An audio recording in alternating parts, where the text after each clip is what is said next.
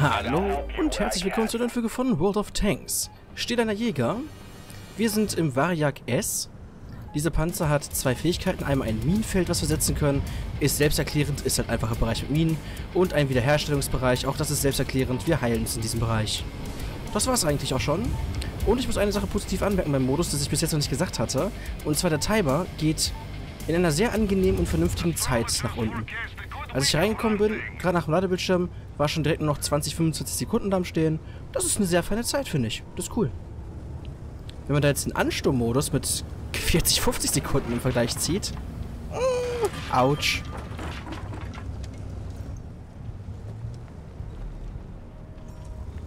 So, Minenfeld ist bereit. Das ist schon mal gut. Aber der Punkt ist aber schon ganz schön weit weg, finde ich. Und da ist ein Gegner. Ja gut, das erste ist ja eh nur ein Funkgerät. Das ist jetzt nicht allzu schlimm, wenn wir den jetzt nicht sofort kriegen sollten. Aber Level 2 ist jetzt mal wichtig.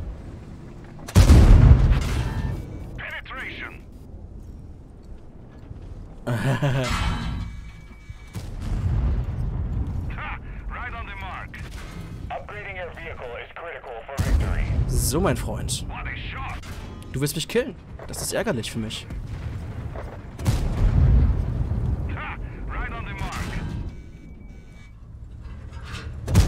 Das ist massiv belastend, bin ich ehrlich. Ah, da hat es nicht ganz gereicht. Naja, da hat er einfach den besseren Panzer gehabt im Vergleich. Was willst du machen? Ah, wir haben dann wieder Einstieg, ist alles gut. Wir haben wenigstens so viel Schaden rausgeholt, wie es irgendwie machbar war. Ah, dann nehmen wir Höchstgeschwindigkeit, komm. Da ist ein KI-Gegner, den nehmen wir natürlich gerne mit.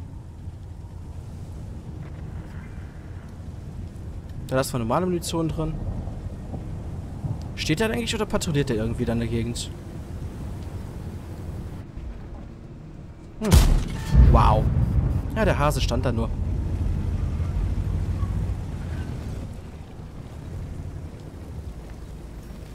Oh lol. What the fuck? Das habe ich jetzt nicht erwartet, dass er runterhüpft. WTF? Hüpft plötzlich, plötzlich die KI darunter. Finde ich gut. That's a good choice. Ja, sehe ich auch so. Ist auch eine wichtige Wahl.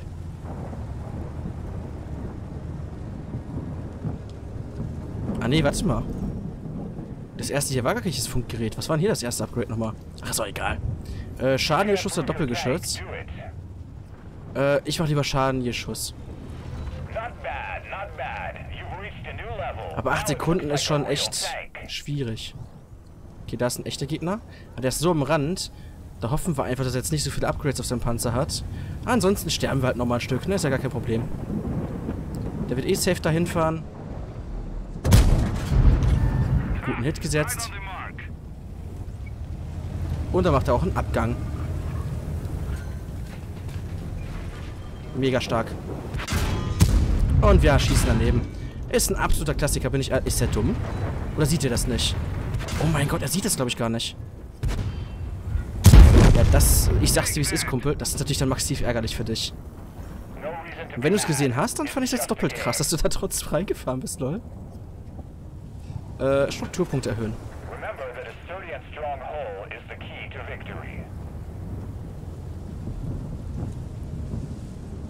Mit der Valkyrie mache ich auch nur Panzerung, weil es gefühlt irgendwie die geilste Panzerung in diesem Modus ist bei der Valkyrie. Aber hier nehmen wir lieber mehr Strukturpunkte.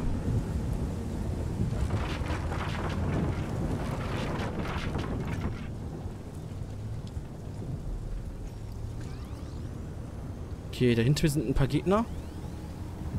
Wir haben für fünf. Wir könnten jetzt versuchen, dahin zu fahren. Meine einzige Sorge ist nur, dass die sich dann zusammen teamen und gegen uns dann quasi zu stark sind.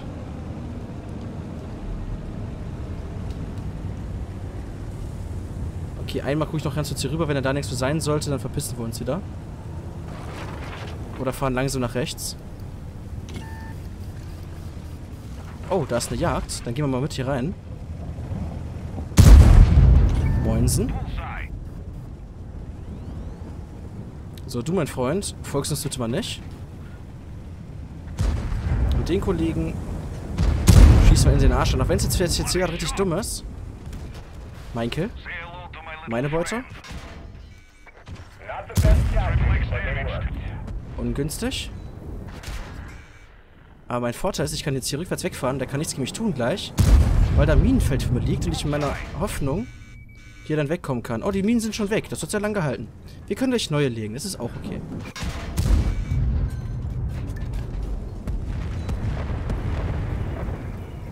So, Ketten kaputt. Er schießt trotzdem noch bei uns rein. Perfekt.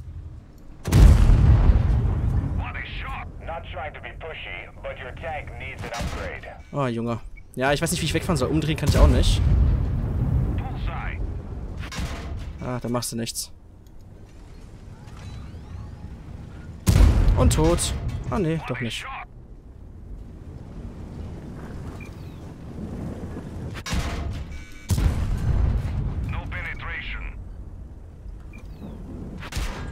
Oh.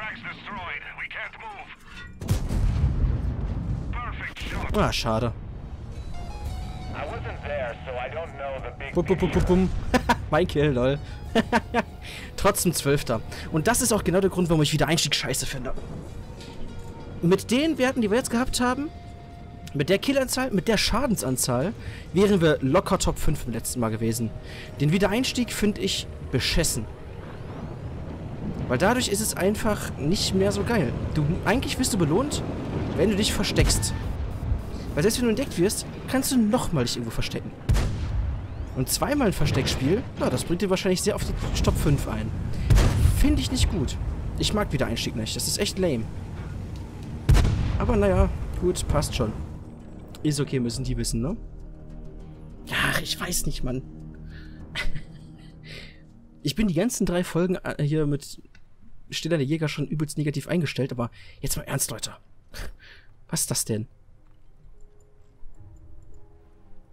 Ja, nehmen wir heute mal ganz kurz den bei Lang A. Weil der war ganz witzig, weil der hat nämlich einen Säureschuss gehabt, mit dem man den Gegner vergiften kann. Mal sehen, wie hilfreich der uns hier wird. Weil den hast du leider auch nicht so oft gehabt und du hast ihn nur ein einziges Mal. Also, ja.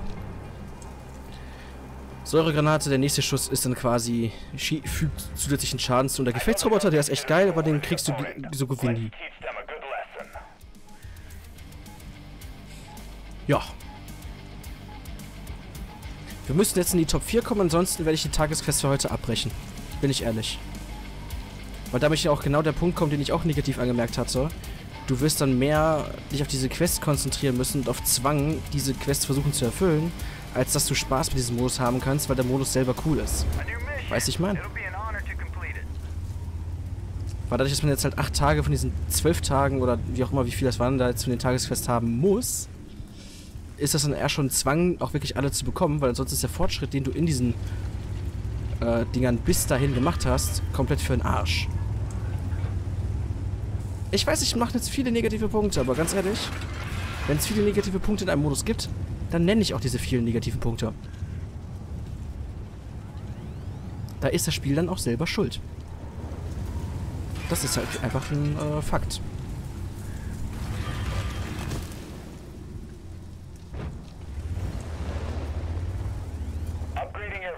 Machen wir hier das Schnellere. Oh, ich bin gesehen worden. Ja, ist mir egal. Oh mein Gott, Junge.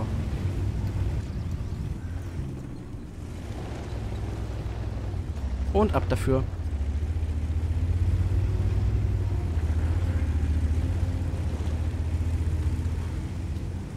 Mhm. Okay. Wir haben es jetzt nicht verfolgt, das ist gut. Höchstgeschwindigkeit erhöhen. Ob das mit dem so smart war, weiß ich nicht. Ich glaube, das zweite wäre sogar schon fast noch besser. Aber manchmal ist Höchstgeschwindigkeit schon echt sehr hilfreich.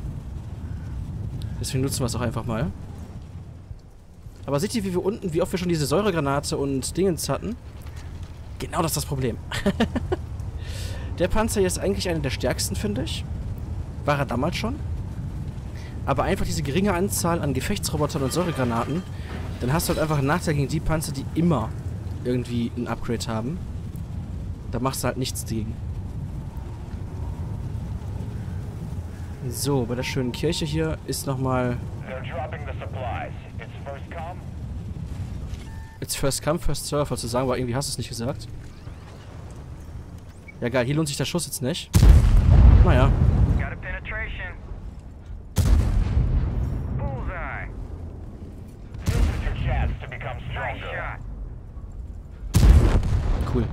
Ja, also die Bots finde ich auch übelst wack irgendwie, weiß ich nicht. Was eins, was die jetzt ist, äh, bringen, ist eigentlich nur einen geschenkten Kill irgendwie. Ja, es gibt ein bisschen Level, aber... Weiß ich nicht. Weil irgendwie wirst du schon fast dafür belohnt jetzt, Bots zu farmen, statt echte Spieler. Ich weiß nicht, es, es, es hat auch Vor- und Nachteile, ja, es ist auch positiv. Aber... Weiß ich nicht. Auf der einen Seite ist es irgendwie kacke mit den Upgrades, wenn du einen zu großen Vorsprung hast, weil du nichts machen kannst. Dafür sind die Bots geil, weil du wieder aufholen kannst. Nachteil, dadurch, dass es die Bots von Anfang an gibt und bei dir quasi einfach rein suizidieren, wirst du halt generell das Problem haben, so wie wir es jetzt auch sehen, ich bin Level 5 und habe nicht mal einen Gegner gesehen. Das heißt, die Levels sind dadurch halt äh, sehr schnell auf Maximum. Und da sind dann halt die Panzerklassen dann wieder super, super, super relevant und Skill wird noch uninteressanter. Weil so eine Valkyrie an der richtigen Position einfach, da kannst du mit dem bei lang schon gefühlt machen, was du willst, du hast keine Chance. Wenn du den aber umfahren kannst, den Panzer, ja, dann hat der, hat der Valkyrie-Panzer keine Chance. Das ist halt wirklich nur noch panzerabhängig und nicht skillabhängig, Mann. Ich, ach, ist das aber auch Kleinstufen genauso. Ah! Ein Dilemma, Mann. Es ist der Dilemma, Mann. Mann, Dilemma.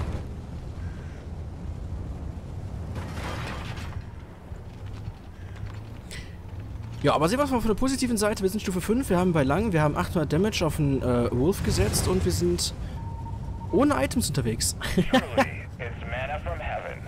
Keinen einzigen Säureschuss. Kein Roboter. Nichts, um Gegner zu töten. Ist doch wunderbar, oder? Und das ist für mich der größte Kritikpunkt an diesem Kackpanzer, Mann. Der wäre so geil. Boah, ich hoffe, da ist jetzt gutes Equipment drin hinten. Das ist nämlich wichtig für mich. Vor allem, weil der Gegner mich wahrscheinlich auch gesehen hat. Safe. Ein Säureschuss, ich pack's nicht. Ich weiß, da ist ein Drop. Den sollte ich mir eigentlich holen. Können wir sogar. Ich dachte, der folgt uns. Alles gut, dann fahren wir zurück. Ich dachte, der verfolgt uns jetzt, bis wir äh, draufgehen. Deswegen wollte ich jetzt nicht wieder in den Fluss zurückgehen. Oh. Müssen wir hier hoch. Aber dann geht's ja. Zack. Einmal gewendet, einmal durchfahren hier. Wiedereinstieg ist nicht mehr möglich. Keine zweite Chance. Und wir haben keinen Gegner gesehen.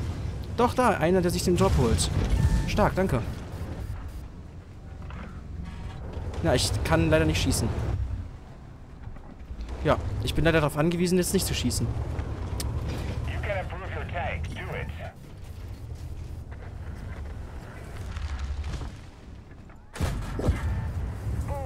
Das war ein wichtiger Hit.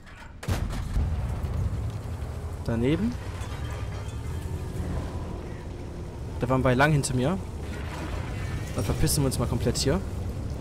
Weil wir haben ja gelernt, ne? jeden Kampf, den wir aus dem Weg gehen, ist, äh, im, ist halt Battle Royale. Du wirst dann immer in gute Platzierung kommen, wenn du dich einfach versteckst und verpieselst. Und da ich jetzt gerade in dem Moment nur die Tagesqueste füllen will, um euch zu zeigen, wie absurd das ist, müssten wir halt den Kämpfen aus dem Weg gehen und uns verpissen. Das klingt doof, aber das Spiel will es so. Also machen wir es so. Nebenbei sammeln vielleicht ein paar von diesen Punkten ein und äh, viel Spaß, Leute, beim Gegner, Gegner bekämpfen. Ist mir egal. Jetzt fahr doch, Junge. jetzt hängt er nicht so fest. Da müssen wir wieder wo woanders hinfahren. Weil da ist jetzt gerade noch ein Panzer unten links da. Hier. Der wird sich den Drop holen, klar, safe. Aber da lasse ich mich gar nicht drauf ein. Wir fahren woanders hin. So, hier ist gleich die Zone, deswegen gehen wir mal nach ganz, ganz unten da und hoffen einfach, dass der andere Panzer uns dann nicht wiederfindet. Das sieht auch bis jetzt ganz gut aus. Deswegen habe ich auch extra Stelle ähm, hier ähm, Ortungsgerät genutzt. das bessere, schnellere Funkgerät hier, damit wir relativ äh, fix durch die Gegend fahren können und immer wissen, ob irgendwo einer ist. Bei mir geht es ja gerade nicht darum, mit den Leuten zu kämpfen, mir geht es jetzt wirklich nur ums Überleben und Hauptsache von den Gegnern wegzubleiben, um die Tagesquest zu erfüllen. Aber eine Sache finde ich positiv. Munition ist gefühlt sehr, sehr viel, die man jetzt hat. Ich habe bis jetzt nicht einmal das Gefühl gehabt, dass mir die Munition fehlt. Ja, damit haben wir jetzt einmal komplett voll. Jetzt geht es nur noch um die gelben Dinger für Equipment. Leute, ich hab getroffen. Ha, ist ja witzig.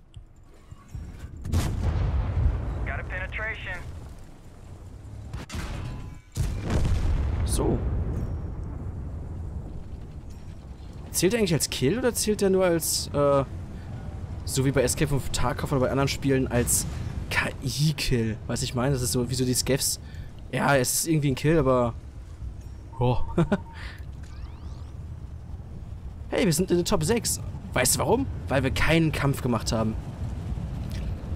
Battle Royale Logik. Du wirst belohnt fürs Nichtstun. Wenn du viel riskierst... Wobei, was heißt viel riskieren? Wenn du einen normalen Kampf spielst, tja, dann verlierst du halt. Da ist jetzt ein Gegner, also fahren wir weg. Weil es bringt uns nichts. Mach's gut, mein Freund, weil da ist nicht gleich die Zone. Damit sind unsere Wege jetzt getrennt. Das ist schlecht.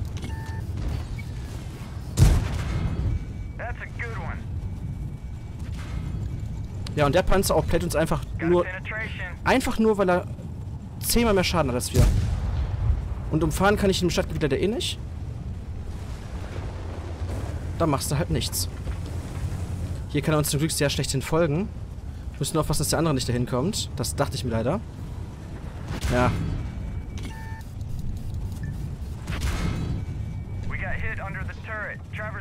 Und tot.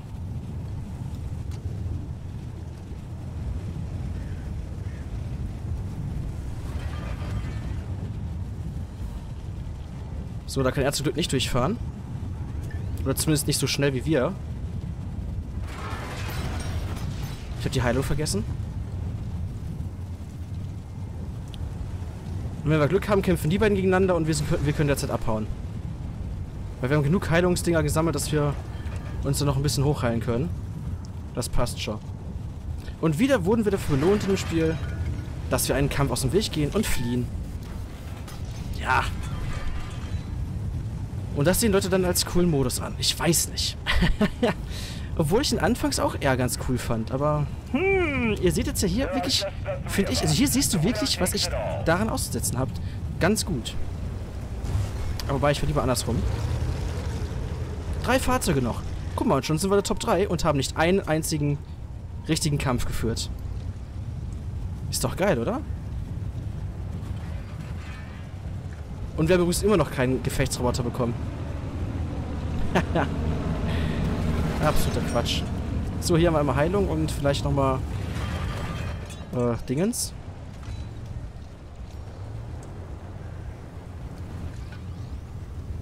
Oh, lol. Die sind beide da? Ah, die sind gleichen, ne? Das ist schlecht. Jetzt müssen wir hier rausfahren. Aber wir sind wieder voll live. Nur durchs Fliehen haben wir mal wieder genug. Das ist, ich weiß nicht, Mann. One against one. Ja, das äh, weiß ich nicht, wie ich das schaffen werde. Ich brauche einen Gefechtsroboter, sonst habe ich einen Nachteil.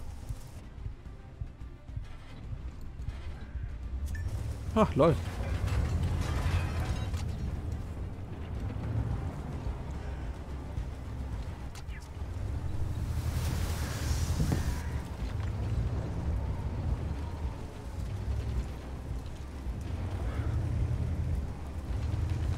Hm. Der hat's echt gepackt, da hinten lang zu fahren. Ich dachte es mir irgendwie schon. Das ist ja belastend. Und er versteckt sich jetzt nur. Oh. Komm schon, Gefechtsroboter. Bitte sei getriggert auf den.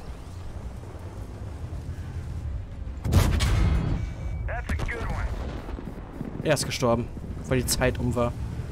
Ist das banal alles, Mann. Ja, hier in der Stadt kannst du doch nicht fahren, Mann.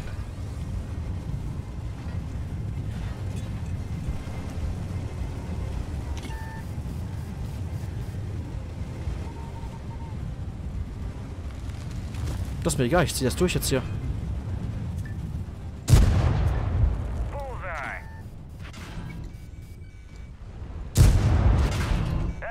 Und Half-Life, weil der einfach viel, viel mehr Damage macht als wir.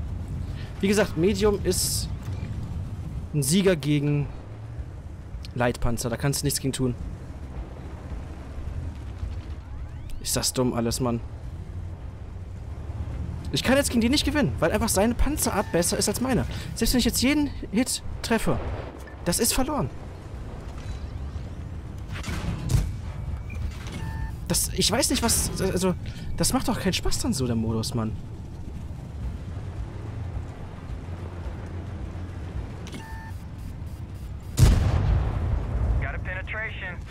Ja, stark, ne? Aber hey, wir wurden belohnt mit Rang 2. aber wurden leider von der Panzerklasse ausgekontert. Gegen die wir leider, sag mir bitte wie, aber selbst mit Rumfahren, glaube ich, wenn der nicht irgendwie durch Zufall fünf Schüsse daneben sammelt, ist es absolut unmöglich, gegen den zu gewinnen. Weil der halt einfach zufälligerweise nur die Panzerklassen Schere, Stein, äh, Schere, Stein, Papier Muster gegen uns halt gewinnen kann. Das ist der einzige Punkt. Nur wegen der Panzerklasse. Weil sein Panzer als Medium einfach besser ist als unser. Cool, ne? Hätten wir jetzt übrigens in der Situation beispielsweise ein Heavy gehabt. Ne, so kann auch die Valkyrie. Dann wärt ihr am Arsch gewesen. Aber zweiten Platz, voll die krassen Belohnungen, weil wir Zweiter geworden sind. Obwohl 1, 2, 3, 4, 5, 6, 7 Leute mehr Schaden gemacht haben als wir. Der Typ ist 13. geworden, kriegt rein gar nichts aus dieser Runde, hat aber 3 Kills, 6267 Schaden. Das ist äh, fair. Nun, ich denke mal, daran seht ihr vielleicht jetzt hoffentlich nochmal sehr gut, warum ich Battle Royale nicht so geil finde. Und ich wahrscheinlich auch das jetzt hier, ich habe es jetzt gemacht. Vielleicht packt mich die Lust dazu nochmal, kann sein. Aber mehr als die Tagesaufträge werde ich in dem Modus nicht machen. Ich, ich weiß nicht. Ich bin so gespannt, ob das irgendwie dann noch anders, noch irgendwer anders so sieht wie ich. Aber das hier kann ich so halt einfach nicht ernst nehmen. Ich, ihr habt es jetzt ja selber gesehen. Und so läuft jede Runde ab. Selbst wenn du nur aggressiv fährst und richtig geil reinklopst, du kannst 14.000 Schaden machen. In dem Endsituationskampf, so wie jetzt gerade eben 1 gegen 1, hätte ich mit dem Ball lang ohne Gefechtsroboter keine Chance. Und ihr habt gesehen, wie viel ich eingesammelt habe. Da war ein einziger drin. Einer in der gesamten Spielzeit. Stark. Finde ich echt stark. Ja, das auf jeden Fall dazu. Dankeschön fürs Zuschauen. Vielleicht ist es die letzte Folge von Stillane Jäger. Wenn, ist das jetzt das Feedback dazu, meine Meinung gewesen. Ansonsten sehen wir uns beim nächsten Mal wieder. Ciao.